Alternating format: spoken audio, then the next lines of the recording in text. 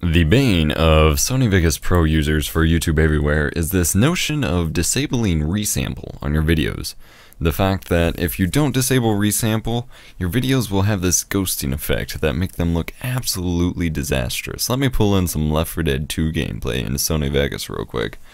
And as you can see, there's this ghosting effect, which is a way of compensating in for, you know, professional video, but that just absolutely trashes gameplay video, and it makes it look like it's blurry, that there's like three of the same frame going at once, and it's just absolutely ugly. And so, if you're a YouTuber with gaming content, making videos with Sony Vegas, you always need to disable resample by right clicking, going to properties, and hitting disable resample, or right clicking, going to switches, and hitting disable resample.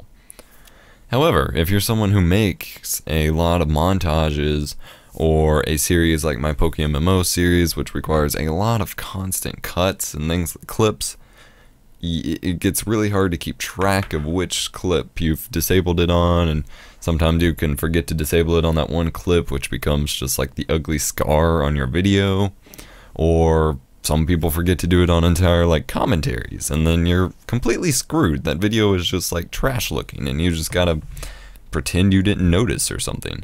Well, I have a way, or I have found a way, of getting past all that to an extent and making our lives a bajillion times easier. You're going to open up your internet browser and go to the link in the description below. It's going to take you to Mediafire, and it's going to download a .cs file, which is a Vegas Pro script file, smartrendererdisable.cs. You're going to take this file and you're going to copy it into C, Program Files, Sony, uh, Vegas Pro, Script menu, and you're going to put in there with the other scripts. Now it's going to ask you for your permission because it's program file folder, yada yada.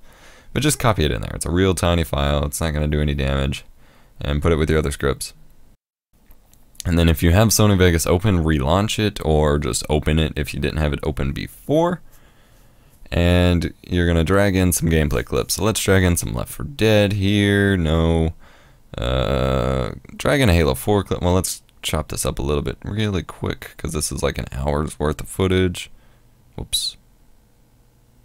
Just delete half of it. There we go. Drag in some Halo 4 just so I can show it to you on different fronts. And then drag in, let's find some real life video from my webcam here. There we go. Tiny little clip of that. You can kind of see the effect here. Alright. Now, once you've built your entire video without bothering to do disable resample or anything yet, to just make your life easier, don't worry about it, create your entire video. Then right before you render, go to scripts, or tools, scripting, smart render disable.